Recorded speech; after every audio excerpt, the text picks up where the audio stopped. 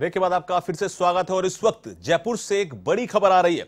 Jaipur east police ने मादक पदार्थों के खिलाफ बड़ी कार्रवाई को अंजाम दिया है। ईस्ट जिला पुलिस की सूचना पर मादक पदार्थ तस्करों के खिलाफ बड़ी कार्रवाई की गई है। चाकसू थाना पुलिस ने यह कार्रवाई की है। पुलिस ने दो शातिर तस्करों को गिरफ़्तार किया है। तस्करों से 100 किलो गांजा भी पुलिस ने बरामद किया। पश्चिम बंगाल से ये गांजा लाया गया था।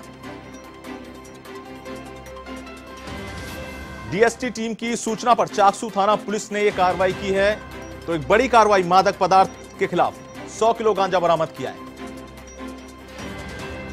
और इस खबर पर ज़्यादा जानकारी के लिए हम बात करते हैं हमारे संवाददाता यादवेंद्र शर्मा से। यादवेंद्र, ये एक बड़ी कार्रवाई है मादक पदार्थों के खिलाफ और लगातार पुलिस कार्रवाई कर क्या जानकारी आपके पास है?